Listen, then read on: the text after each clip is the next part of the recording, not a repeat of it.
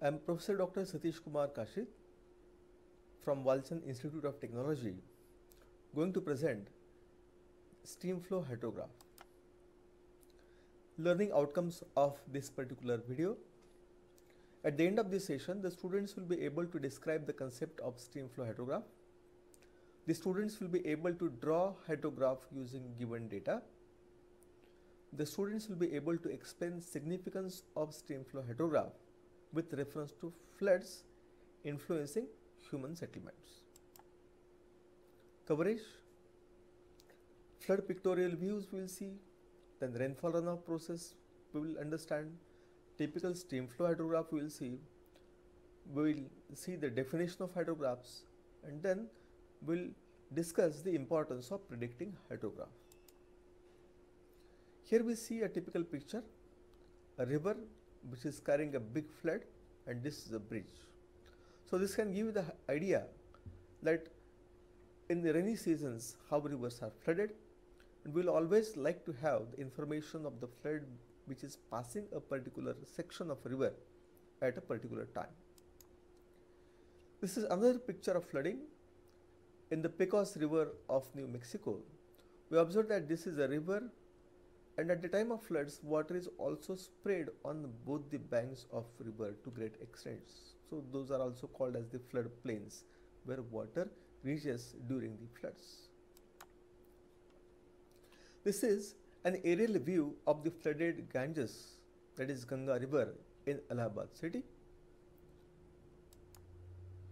Here we observe one picture in bihar which is the worst flood affected states of india that whenever Ganga and its tributaries are flooded, we will find water spreads on both the banks of river and a large area of the ground fields goes under water. So the picture itself will tell you that we should study, we should understand, we should analyze the floods which influence the human settlements in many ways.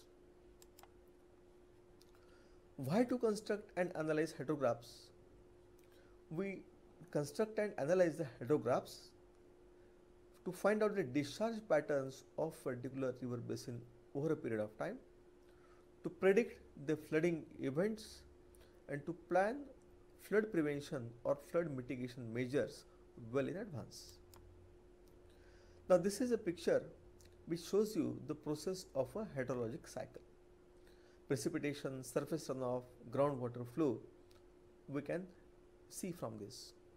So, whenever there is a rainfall that is a precipitation, some water will flow over the surface of ground that is overland flow, some water will infiltrate into the ground, some water will once again come out as interflow on surface water, but some water will percolate and move to the deep groundwater. The water which is stored in the ground is taken by the plants for their metabolism. Some water which is taken by the plant and again given out by the leaves that is called as transpiration. The groundwater is also not stable. Groundwater always finds a way very slowly towards the rivers or oceans. So here there is a channel now let us come to a definition of hydrograph. Hydrograph is a graphical representation of discharge in cubic versus time in hours or days at a particular time on a stream or channel which drains the watershed area. Now what is importance of predicting hydrograph? The hydrograph will enable us to manage the storm water, to identify the flood plains on downstream side, to place the hydraulic structures at safer level. Efficient urban storm water management plans can be defined by knowing the hydrographs. It will help us to design the different types of hydraulic structures and it will minimize the effects of floods because by knowing the hydrographs one can plan the mitigation measures. Now this is a typical storm hydrograph. So here we will understand the hydrograph. So you find that this is a time axis and this is a discharge axis. discharge in say cubic meter per second or so. Now in this graph, two things are shown. One graph is shown for precipitation or rainfall. So this is from this time to this time we find a rainfall. Again the intensity of rainfall is, is varying with a time. And then this hydrograph gives you how water accumulates and starts flowing at a particular river section under consideration. Initially, before the storm, before the rainfall, the tendency of water that is discharged in the river is reducing. But when water starts coming into the river, you will find that the discharge starts increasing. So the start of discharge is indicated by this rising limb. Now, we observe that there is certain time difference between peak rainfall and the peak discharge time that is called as a lag time.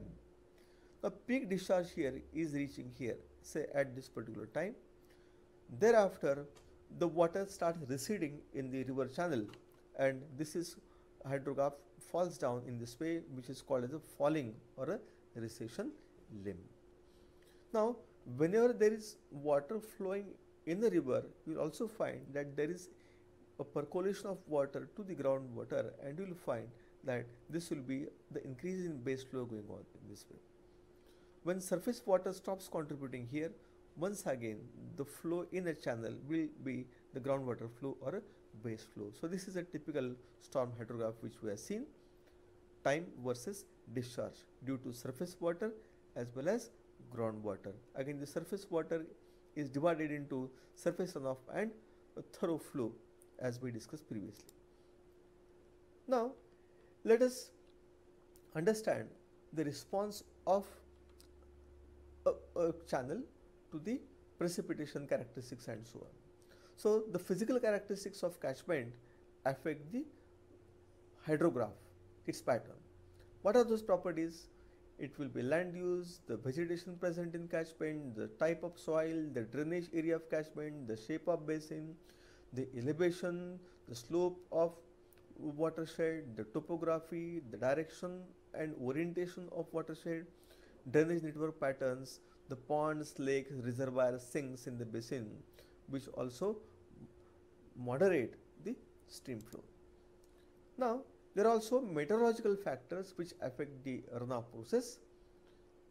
The first is the type of precipitation that is whether it is in form of rain, snow, sleet, the intensity of rainfall. The intense rainfall provides gives high peaks rainfall amount that is the depth of rainfall the rainfall duration that is over how much period the rainfall is continued distribution of rainfall over the watershed direction of the storm movements the antecedent precipitation and resulting soil moisture other meteorological climate conditions that affect the evap are the evapotranspiration the temperature wind relative humidity and so on so all these meteorological factors have a significant effect on the.